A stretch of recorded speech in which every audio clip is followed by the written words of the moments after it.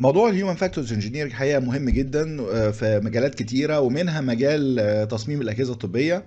وطبعا أهميته بتيجي من إن هو بياخد في الاعتبار ال- ال- المواصفات بتاعة ال- الإنسان في تصميم المكنة أو ال expectations بتاعت الإنسان في تصميم مكنة وإمكانياته وقدراته علشان يبقى في الآخر الاستعمال بتاعها يبقى آه، يعني بالنسبة له يبقى أسهل ما يمكن اولا ويبقى في ال- بالنسبة لل patient يبقى as safe as possible. الحقيقة يعني من الحاجات الأساسية جدا إن إحنا لازم يبقى في عندنا knowledge لل human factor engineering علشان نقدر نصمم جهاز بشكل يكون كفء.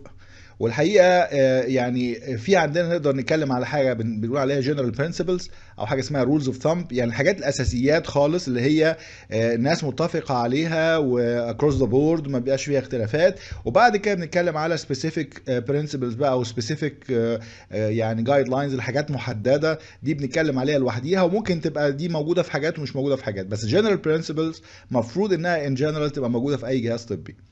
والحقيقة الخبرة في الأجهزة الطبية آه، أوضحت إن إحنا آه، الأطباء والمستخدمي الأجهزة الطبية عموما ممكن إن هم يقبلوا بعض عيوب ال user interface بتاع مثلا جهاز طبي آه، بشرط إن هو يعني يكون ما بيعاقهمش على إن هم يعملوا الحاجة الأساسية اللي بيعملوها بالمكنة. يعني لو مثلا أنا المفروض إن أنا بعمل مثلا ب defibrillator function معينة. لو أنا مثلا ال defibrillator دوت ال user interface بتاعه معقد زيادة بس بيسمح لي still إن أنا أعمل ال functionality اللي أنا عايزها يعني بطريقة مناسبة أو ما بتعوقنيش ال- الحاجات ال complicated اللي موجودة فيه دي. إن أنا لو عايز أعمل ال function اللي أنا آه، بقول عليها أساسية بالنسبة للجهاز ده آه، بطريقة ما فيهاش أي إعاقة يبقى معنى كده إن أنا ممكن أقبلها وأتعايش مع ال user interface اللي هو مش آه، مش user friendly دوت. إنما لو أنا بتكلم بقى على إن ممكن يبقى في عندي حاجة يعني يبقى فيها complication وال complication دي تخلي إن أنا استعمالي ليه في الحاجات الأساسية والحاجات الضرورية والحاجات اللي في ال critical care يبقى في مشكلة. لا ده ممكن ساعتها يبقى في عندي مشكلة إن أنا ممكن أرفض الايه استعمال الجهاز ده أصلا. الحقيقة ممكن إحنا نعتبر ان إحنا ما عندناش أجهزة كتيرة الحقيقة نقدر نقول على ال user interface بتاعها إن هو perfect actually perfect دي ما افتكرش إن في أي جهاز نقدر نقول عليه إن هو perfect بس عامة ممكن إحنا نقول إن عامة كل الأجهزة آه، بي- بيكسروا واحدة أو أو أكتر من القواعد اللي هي بتاعة تصميم الأجهزة الطبية أو بتاعة ال human factors engineering بس ما ينفعش إن أنا أكسر قواعد من القواعد الأساسية. يعني يعني بتبقى في خطورة لما أنا أبتدي أتكلم على إن أنا الجهاز بتاعي دوت في واحدة من ال general principles دي أنا مش بحققها أو أكتر okay؟ فلازم ناخد في اعتبارنا الجزء بتاع ال general principles ده قبل ما نبتدي إن إحنا نخش في تفاصيل آه، أي حاجة بنعملها في في التصميم بتاع الأجهزة الطبية. الحقيقة بنتكلم على لو أنا عندي violation لل principles دي ممكن تخلي الجهاز بتاعي حاجتين ممكن تخليه unsafe ممكن تخليه unusable. unsafe معناه إن أنا وأنا بستعمله أفتكر إن أنا بستعمله صح بس actually يكون بستعمله غلط وده يسبب خطورة على المريض. أو unusable معناه إن أنا ما ببقاش عارف أشغله أصلا.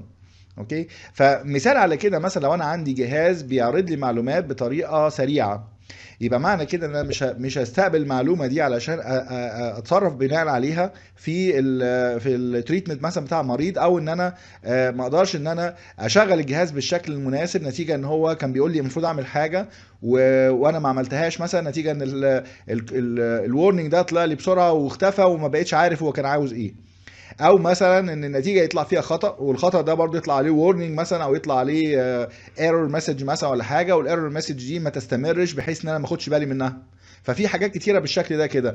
أو برضو من الحاجات برضو لازم ناخد بالنا منها قوي في الأجهزة الطبية بالذات إن ال environment بتاعت الأجهزة الطبية في المستشفيات ما بتسمحش إن الأطباء وال وال والهيئة المعاونة في ال في ال في ال- في المستشفى إن هم يقعدوا يقروا ال manual كلمة كلمة قبل ما يستعملوا الجهاز.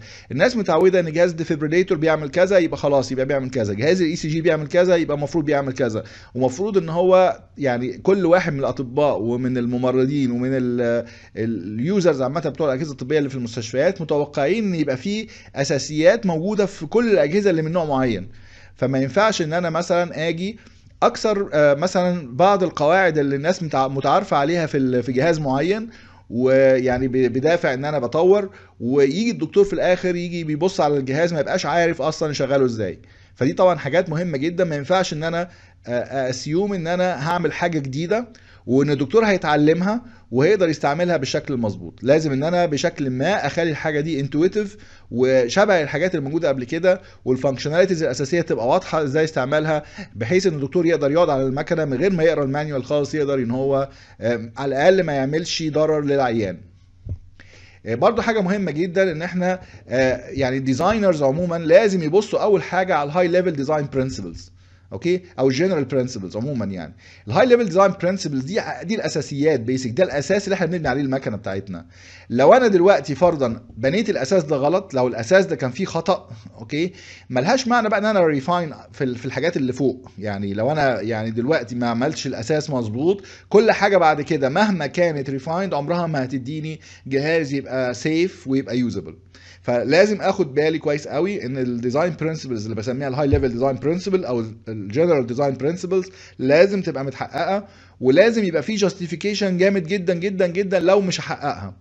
otherwise يبقى أنا كده بجهز الجهاز بتاعي دوت إن هو يفشل سواء يفشل من حيث إن ال users مش هيقبلوه أو يفشل من حيث إن هو ممكن هو يسبب حوادث وبالتالي في الآخر الناس مش هتبقى تقبل إن هي تستعمله بعد كده.